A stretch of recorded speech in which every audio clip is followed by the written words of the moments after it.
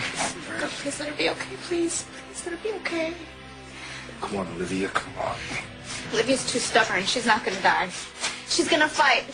She's gonna think about somebody else for a change. She's gonna think about Ava and Emma and coming back to them. Okay, we need to get her to a hospital, okay? I need my equipment. Okay, don't stop. Don't stop. Don't, don't stop When the heart stops, so does the oxygen to the brain, okay? If we don't get her more help soon. Okay, we will. will. We, what can I do? Still no.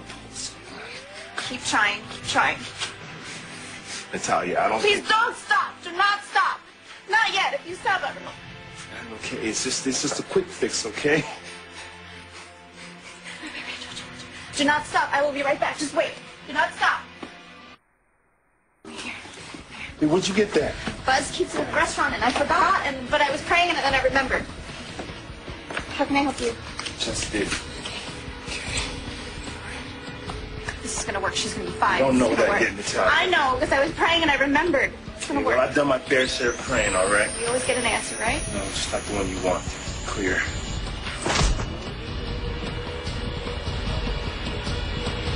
What? She's back.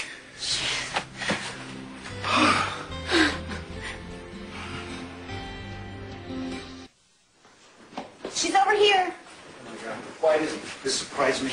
Excuse me, what's the story? Collapsed outside company. Her heart stopped. He couldn't get a pulse at all. I had to shock her back to a normal sinus rhythm. Her pulse is 46 and her BP is 110 over 64. Olivia, respirations. Do we have any? It's 30 and wet. I'm seeing some bilateral pitting edema. You're supposed to check legs. yourself in the hospital. This is ridiculous. No, she was going to. She was gonna check herself. All right, look, we gotta get her stabilized. Please don't go anywhere. We'll be right back.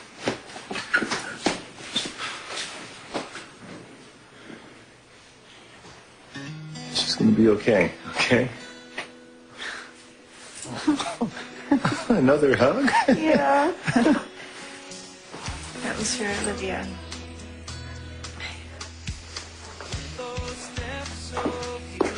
What are you doing here? Aren't you supposed to be taking the MCATs? How do I? Five more minutes. You can Okay, make listen, the test. I want to stay here and see how Olivia's doing. These are the MCATs. If you want med school, you can't blow them. I know. You saved your life today. Okay, and not just any life. Ava's mother's life. Ava, the one who made you want to be a better man, made you want to change your life. Ava, the mother of your son. Do you hear the thunder yet? You know what? Where's Dad? Because I hate it when you are a bougie know-it-all. Listen, okay? don't take Main Street. Just take Third and then cut across to the alley and I may not take the MCATs. I may not take the tests. You never know what I'm Go! I'm a mystery, baby. I'm an enigma. Unbelievable.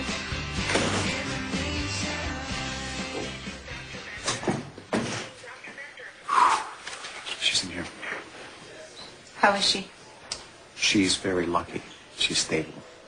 So you might want to keep those prayers up because somebody upstairs is definitely looking out for her. She should be in a body bag right now. Can I? Can I go in? Yeah, just for a few minutes.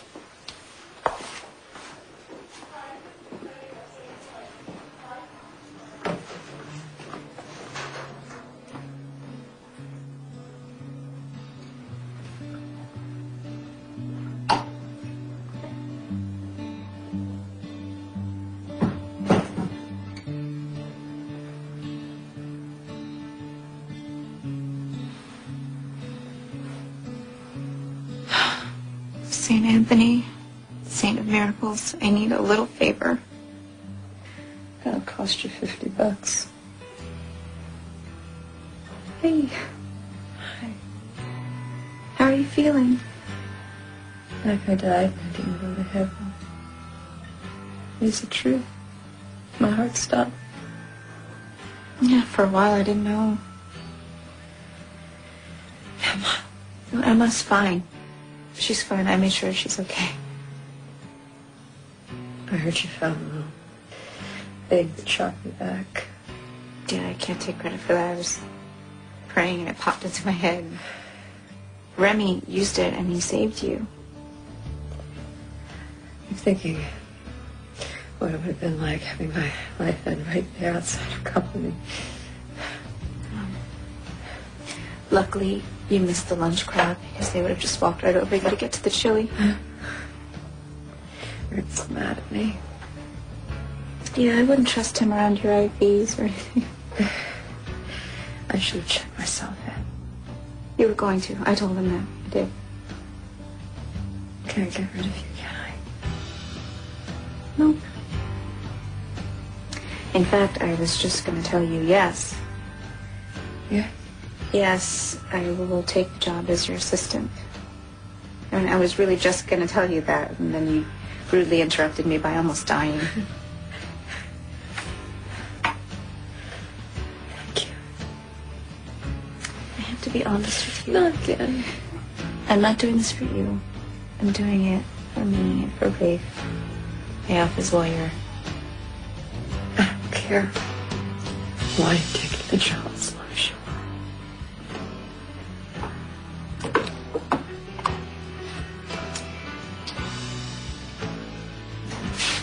We need to talk. So you want the good news or the bad news? There's good news. It's a start. Well, can you just tell us what the tests say? Your body's rejection of your heart is what caused the irregular heartbeat, and that brought on the cardiac arrest. So we put you in a series of immunosuppressants. That's the good news. Are you enjoying this? After the way you skipped out of the hospital, the way you did, not check. No, you're not. The bad news, which is really not that bad, is that you need a pacemaker implanted to regulate your heartbeat. I need to have another surgery. It's just an overnight stay. The procedure itself, it's not complicated. The question really is, Olivia, is if you want to live. I wanna wanna live. die. Great. I'll schedule it this afternoon. Rick. Thank you. You're welcome.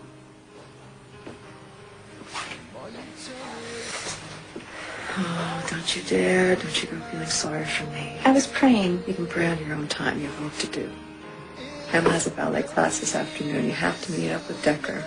And I have a staff meeting at the Beacon I need you to run.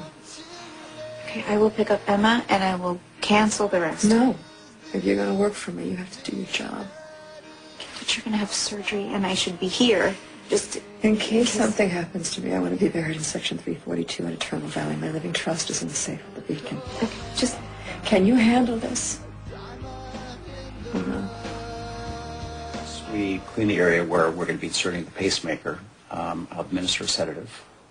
And once you're asleep, I'll be making a incision probably three to four inches. Could I um, have a few minutes alone with Natalia? With the best parts coming up, you really You can come back and share that with me. not interested. No, later. All right.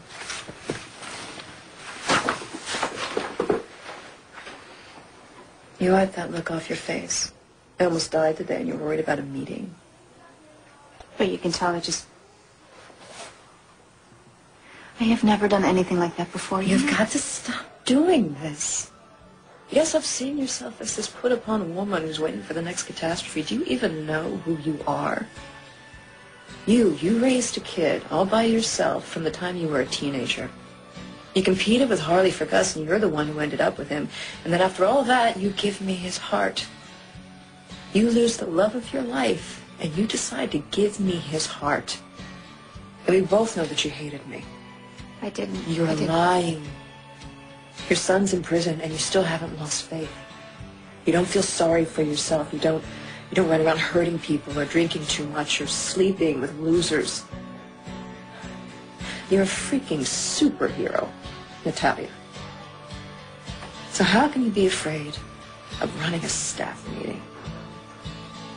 It's kind of unbelievable. I can do this. I can do this. That's not comforting. No, I was talking to her. Oh, I mean, I can't do it. I hope so. I will try to make you proud. I will. Just. You be okay. Okay? Don't worry, my girls. Unless God keeps bringing you back, you know, so I'm just gonna. I'm gonna keep on praying. yeah, if you have time to fit it in, I will. Olivia, you go. You make me proud. I'm not here to tell you what to do. See, you, you all know your jobs. You're all very good at your jobs.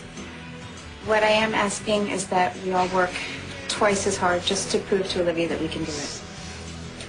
So, um, I have all of your schedules here. Um, so if anyone needs an adjustment on anything, just, you know, let me know. And if you have any questions or suggestions, just come find me. You know remember, we all have lives outside of the beacon, so if anybody needs to go home to their children, their parents, you know, anything, you know, we'll, we'll cover for you. Because I like to think that we're a family here. What'll Miss Spencer say? Well, she'll say, go to work.